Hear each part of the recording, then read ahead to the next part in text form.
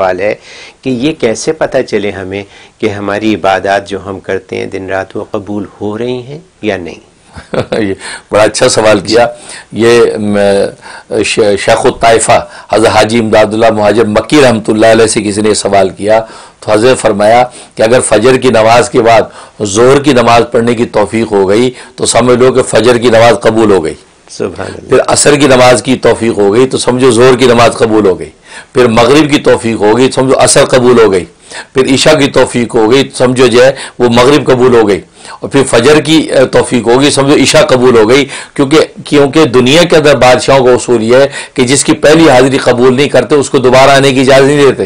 جس کی پہلی حاضری قبول کر لیتے ہیں اس کو آنے کی اجازت دیتے ہیں۔ تو اللہ نے پہلی حاضری آپ کی قبول کر لی ہے، تبھی اللہ نے زور کی نماز کے لیے آپ کو جو توفیق عطا فرما دی۔ تو یہ وہ معیار ہے کہ آپ کو عبادت کے بعد عبادت کی توفیق ہوتی ہی اگر چلی جا رہی ہے، اس کا مطلب پہلی عبادت ہی اللہ کے آپ کی قبول ہوتی چلی جا رہی ہے۔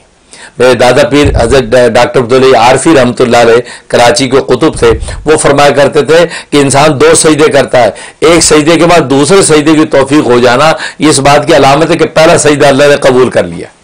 تو بس عبادتوں کے اندر آپ لگے ہوئے ہیں یہ علامت ہوتی ہے اس بات کی کہ پہلی عبادت آپ کے قبول ہو رہی ہے تبھی اگلی کی آپ کو توفیق ہوئی ہے۔ واہ بہت خوب۔ آپ نے بہت لوگوں کا دل بڑھا دیا کیونکہ بہت لوگ نمازیں پڑھتے ہیں اور ایک کے بعد دوسری اور تیسری اور تو ویری نائس گڈ سوال یہ ہے